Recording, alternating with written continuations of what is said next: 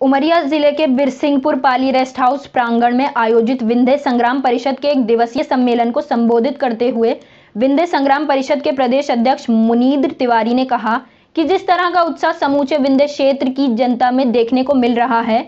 उसे देखकर ऐसा लगता है कि जल्दी ही अपना पुराना विंध्य प्रदेश राज्य दोबारा वापस हो सकेगा। उन्होंने कहा कि विंध्य क्षेत्र का चौमुखी विकास तभी संभव हो सकेगा जब विंध्य प्रदेश राज्य अपने 1948 के स्वरूप में वापस राज्य का दर्जा पाएगा। उन्होंने कहा कि विंध्य प्रदेश तेजू छोटे छोटे स्टेट थे, जैसे पंजाब, केरल, हिमाचल प्रदेश, हरियाणा, जो विंध्य प्रदेश से भी छोटे राज्य हैं, जो कि विकास की गति में मध्य प्रदेश से बहुत आगे हैं। विंध्य इतना पिछड़ चुका है कि इस क्षेत्र के नौजवान पूरे देश के अंदर, खास तौर पर दक्षिण भारत में होटलों में प्लेट, चम्मच धोते हुए दिखाई दे रहे हैं। जब छोटे छोटे राज्य बनने लगे, जैसे कि छत्तीसगढ़ झारखंड, उत्तराखंड बना दिया गया और अभी अभी तेलंगाना अस्तित्व में आया है तो विंध्य क्षेत्र वापस क्यों नहीं दिया जा सकता?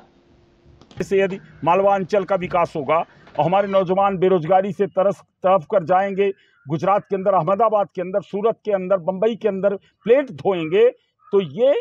न केवल विंध्य प्रदेश की जनता का मान सम्मान का सवाल है, बल्कि जीवन जीने का सवाल है, आने वाली पीढ़ी के भविष्य का भी सवाल है। इसलिए हम लोगों ने विंध्य प्रदेश को फिर से उसी स्वरूप में, जो उन्नीस सौ अड़तालीस से छप्पन तक था, जिसके मुख्यमंत्री पंडित समूहनाथ शुक्ला जी शहडोल के होते थे, उसी राज्य को हम दोबारा पुनरोदय चाहते हैं और उसी राज्य को हम बनाना चाहते हैं। इसी मुद्दे पर हम जन जागरण के लिए आज आए हैं और पाली के अंदर भी हमें तमाम बुद्धिजीवी, नागरिक और जनप्रतिनिधियों का काफ़ी साथ मिल रहा है। इसलिए हम विंध्य प्रदेश के आंदोलन को और आगे तेज करें